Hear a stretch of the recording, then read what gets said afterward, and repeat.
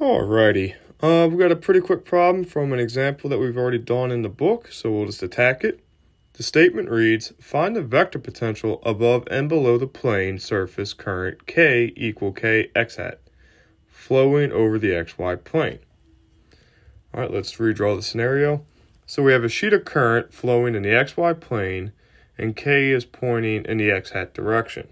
Alright, so uh, the thing to note here is that above and below Z are where all the fun happen. So we can draw an Amperian loop as we do in the diagram, and we can now evaluate this using Ampere's law. Um, so we'll find a B field, which we see uh, from Ampere's law is uh, 2BL equal mu naught KL. The L's cancel. So we divide by 2, and we see that B is equal to plus mu naught over 2K in the y hat direction for z less than 0 and negative for z greater than 0. Eventually we'll just put this in the absolute value brackets to take care of that.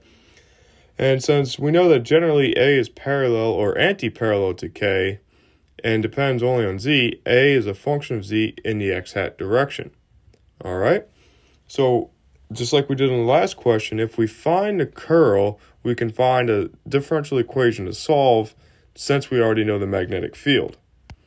All right, so again, it's kind of backwards, like how we use the electric field to find the electric potential, but the more tools we have, the better off we'll be.